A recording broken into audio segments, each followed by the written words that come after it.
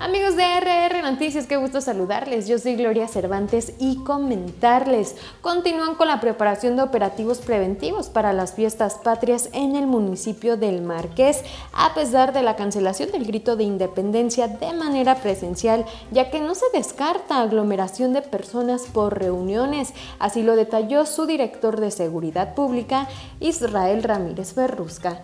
Para esta y más información, síguenos aquí a través de redes sociales.